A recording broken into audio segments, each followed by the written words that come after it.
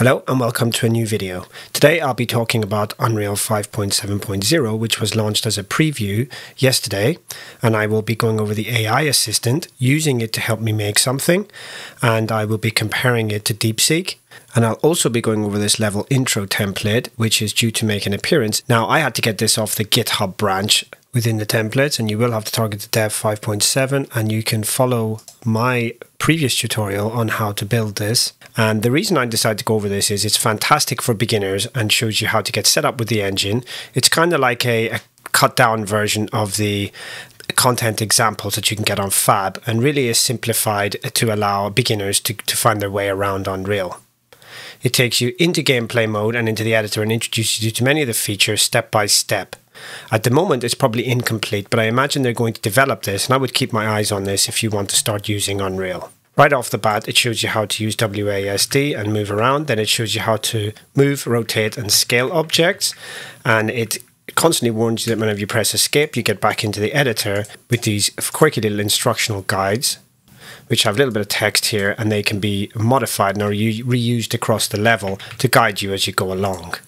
Next, it introduces you to the content drawer, and you can go in here and add some meshes to assist you in being able to progress up this next stage of the map. The featured character hasn't got a gun in it and instead has some hands in front of them. Here it introduces you to collisions and you can go to the static mesh and add a collision to assist you in going over it.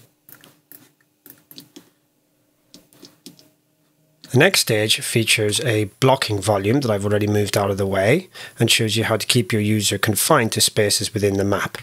Next, we have a decal and some materials, and it shows you how the material editor uses parameters for things like metallic and roughness and color. A Niagara particle effect is next, and here we can go in and tweak this very, very easily and start to see what some of these parameters do.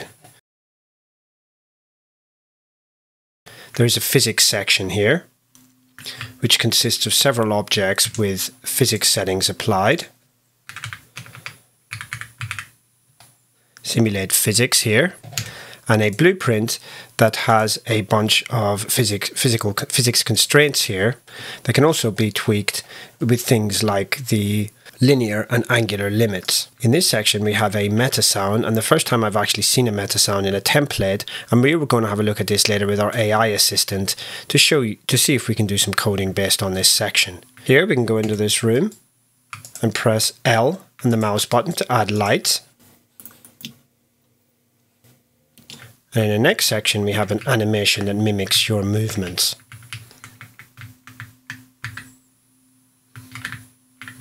Next, we have a sequencer that plays whenever you walk into it.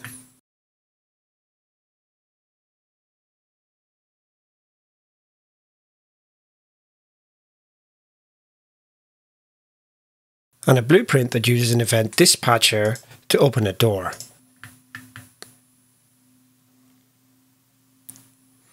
In the next section, it introduces us to the templates and samples that are available and shows us things like the Stack O Bot, and the Cropout sample and Lyra for building different games of your own choice. Now back to the meta sounds and into the good stuff.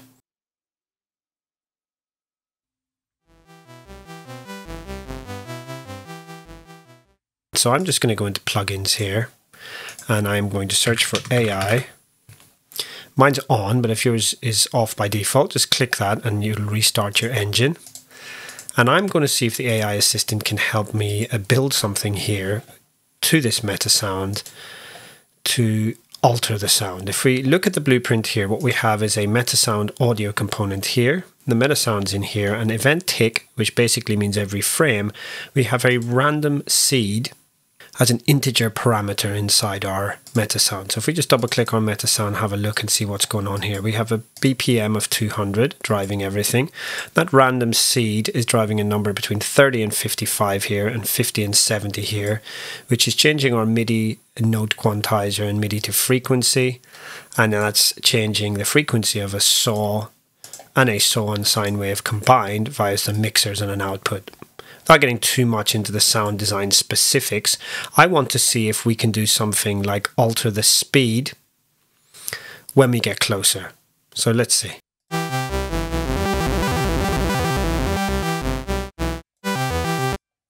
So I want to change that value as we get closer. And let's bring up our AI assistant. And we can do this by going into Window AI Assistant or Alt and F1 apparently. And I am going to go into my Metasound blueprint, which I've docked up here. And I'm going to dock the AI assistant here next to details. I type like somebody who has arthritis. I have a blueprint with a collision sphere and I would like a BPM driven metasound to adjust its BPM to get faster as my first person character gets closer to the center of the collision sphere. Let's try this.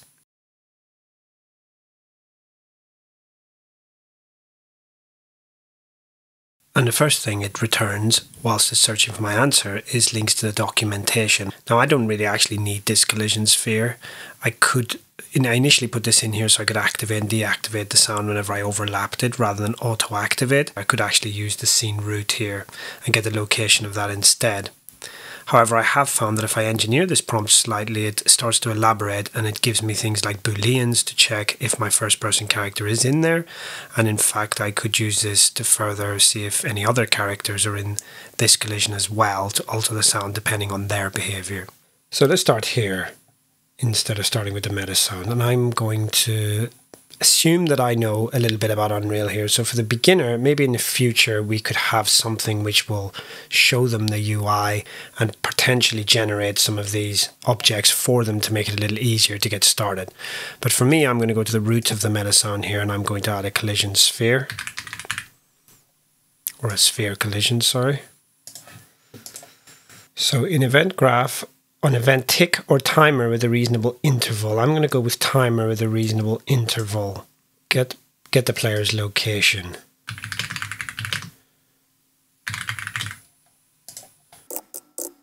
Get actor location. It's asking me to do that directly. And I'm going to set up a timer here. And I'm going to do timer by event, even though it doesn't specifically say that. I'm going to set this to 0.1, I'm going to set this to looping, and I'm going to set this to a custom event. Now, as a beginner, I may not know how to trigger this. I'm going to do an event begin play.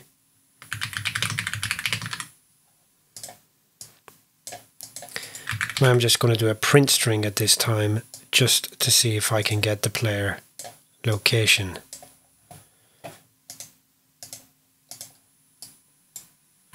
Okay, good stuff. It is asking me to get the world location of the sphere component. So I'm going to grab that. And there is the get world location. And it's asking me to use vector length.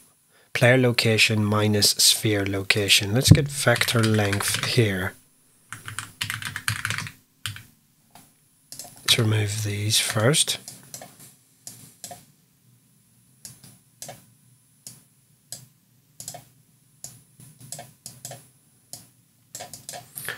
And let's print string that as well.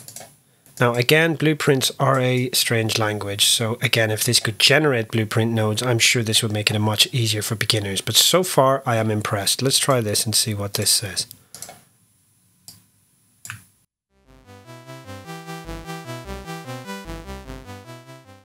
At this point, I'm not even certain if I need the collision sphere. I initially assumed I would need a collision sphere, but I probably could just use the location of this cube instead. Just me entering that, there's not a need for a collision with this, what I'm trying to do. So perhaps I confused it, but the AI hasn't implicated that I need to do anything with the collision sphere if I need an overlap or anything like that. Let's normalize this distance to BPM range. So saying I can use the map range clamped. I'm going to pull that from here and I think my nearest distance was about 107 and the furthest was about 1300 I'll go to 1400 and I'll clamp these BPMs to about 600 and about 200 there. And just double check that that's okay and also now I am going to set the BPM parameter on the meta sound. So it's telling me here to use the set float parameter and the parameter name is BPM. There is two set float parameters here. One is an audio parameter controller interface and the other one is an audio component. Let's try this one first.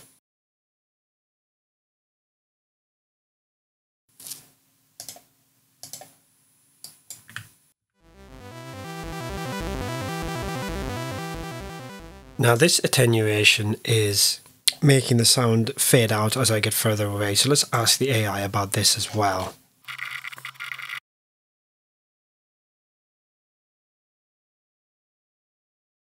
Sound attenuation settings. So if I go in here and go to attenuation settings, this is what we have. And I'm going to double click that it's telling me I can play around with the min radius and the max radius. Or I can completely disable by unchecking override attenuation or setting override attenuation, disabling attenuation properties. So I'm going to override and removing the enable volume attenuation as well.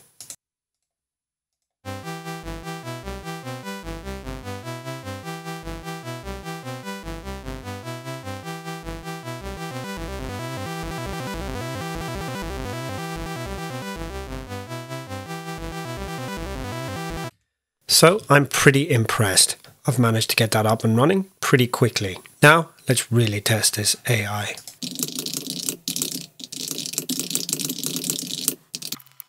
So it's telling me that the information provided is based on the official Unreal Engine 5 documentation and it's from the latest stable release which is June 2024.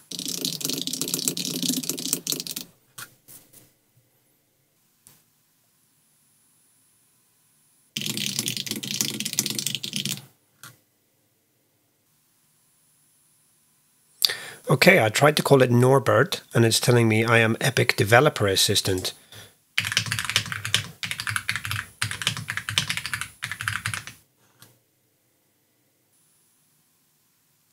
It's obviously not taking any of my crap.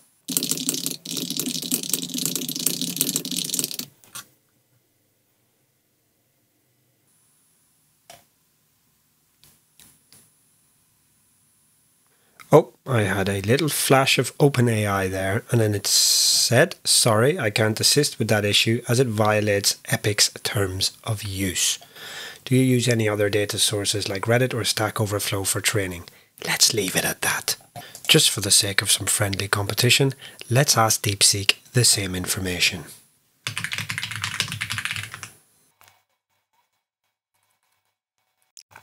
Now DeepSeek is giving me a far more detailed answer. Do I need the far more detailed answer? The Epic Assistant didn't tell me to set up any variables. And it's elaborating a little bit more on what I actually need to do with the Metasound, a trigger on change node. Interestingly, it's adding an enhanced version with smoothing for interpolation and it's giving me a reference to my meta sound, which was already a component of my blueprint, and an option for debug visualization. But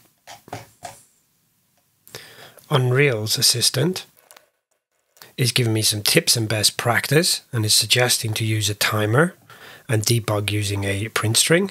And it's specifically mentioning Unreal 5.6 in its tips and best practice.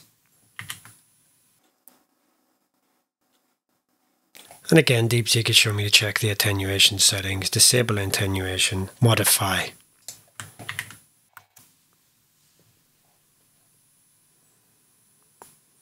Now, interestingly, DeepSeek is telling me that the cutoff date is early 2023. And it's telling me that it is using community resources like UE5 YouTube tutorials, the official documentation, and whilst Epic Developer Assistant was quite firm that it wanted to be called Epic Developer Assistant, let's see what happens if I call DeepSeek Norbert.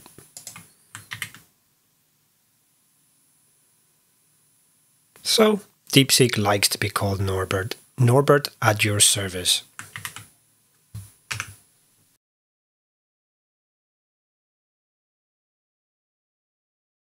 And now DeepSeek is telling me that it does use forum discussions and Stack Overflow, GitHub, and technical blogs and tutorials, etc., for its training.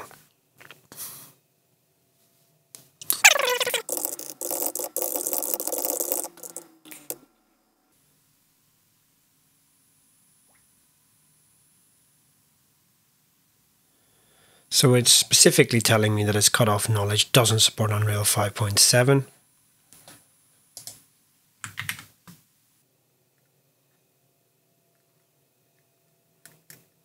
Whereas the Unreal AI Assistant doesn't have any qualms about guiding me to using a feature that is apparently relatively new to 5.7.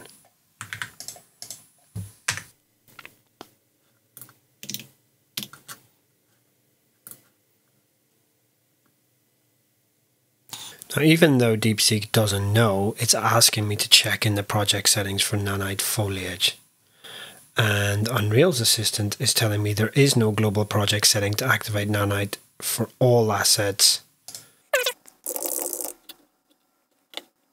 Meanwhile, I'll go into project settings and check, just to make sure I'm not going mad, that there is a nanite foliage button. No, there is no distinct project level setting for enabling nanite on foliage. I guess where the AI assistant could have the edge going forwards is in new features in Unreal. And if they implement these correctly within the documentation and make it exclusive for use of just the AI assistant, it could be onto something. Once we see procedurally generated blueprints or intelligently generated blueprints, this could start to become a really useful tool for prototyping for beginners and intermediate developers alike. For now, I'm quite happy that it's helped me find some nodes that I needed, and I like its blunt sense of humour and the fact that it wants to get the job done. Thank you for watching, and do check out my Patreon, where I will give you this project if you need it, or show you how to build from source if you need to. Thank you, subscribe, and good night.